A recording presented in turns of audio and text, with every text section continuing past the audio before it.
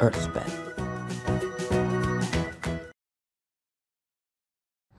Hi, I'm Karil, and this is Earthpen. Today, we're going to talk about another fun topic in physics. It is all about motion in a straight line.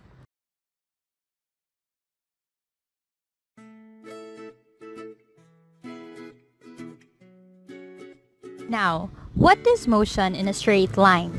Objects move in motion, right? Those objects may move in one dimension, two dimensions, or three dimensions. Today, we are going to discuss the motion of an object in one dimension, and that is the motion in a straight line. Motion in a straight line can also be called linear motion. In linear motion, we will be talking about the position, displacement, velocity, and acceleration of an object. Alright, let's start with position. The position of an object along a straight line can be uniquely identified by its distance from the origin. What does that mean? It means that the object only moves in one coordinate in the Cartesian plane which may go to the right or to the left of the zero.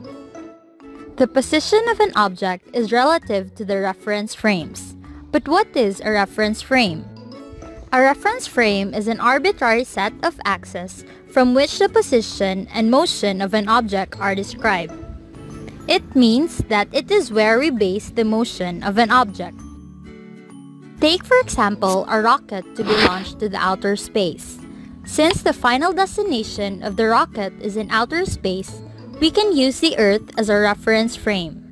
And from there, we can now calculate the position of the rocket with respect to Earth. But not all reference frames are stationary in a linear motion. Sometimes, there are also moving reference frames that we can use in getting the position of an object in motion. Take for example, we measure the position of a person in a boat traveling to another island. We don't have to use the Earth as a reference frame to get the position of the person in the boat. We can also use the boat as a reference frame to get the position of the person. But what if, after getting to that position, the person move again to another position? That is where the displacement comes in. The displacement of an object is the same as the distance traveled by an object in a particular direction. Take for example, a person is standing in front of a door. He decided to move to the table beside the door. The person now has an initial position which is in front of the door and a final position which is beside the table.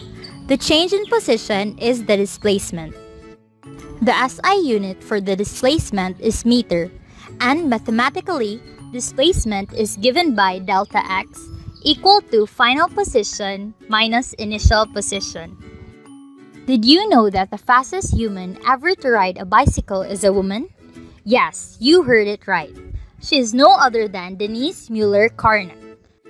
She clipped her bike to the back of a dragster driven by racing driver Shea Holbrook. She had to be towed for the first section of the run because the gearing on her bike was so high that pedaling from a standing start wouldn't have been possible. At around 100 meters per hour or 160 kilometers per hour, she unclipped from the pace car and started accelerating. And from that, everything was history as she achieved 183.931 meters per hour or 296.009 kilometers per hour. She was instructed not to go over 175 meters per hour as it was very risky. But she did took the risk and set the world record as the fastest human ever to ride a bicycle. Alright. Now going back to the topic, let us talk about the velocity of an object. The rate of change of displacement of an object in a particular direction is its velocity.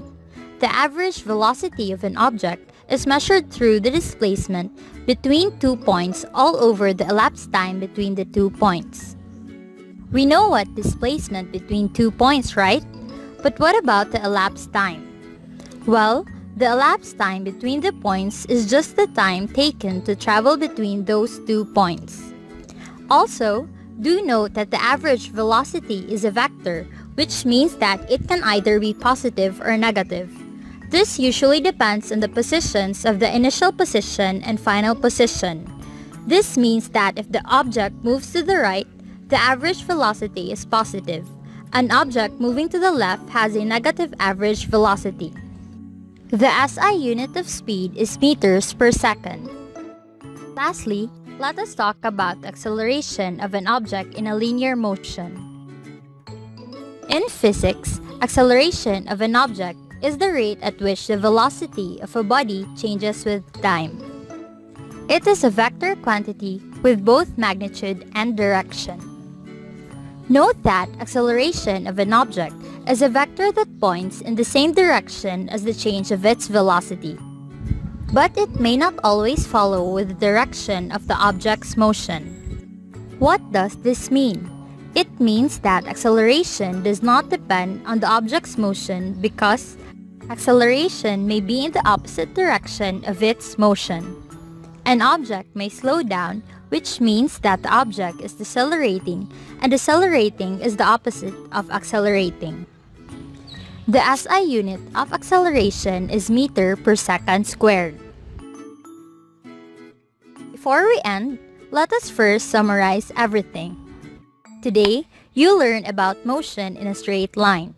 You also learned about an object's position, its displacement, velocity, and acceleration when in linear motion. Did you enjoy our topic today? I hope you certainly did. See you again next time for more interesting and fun topics only here in Earth Pen. Learning has never been this easy for anyone, anywhere. Have a nice day.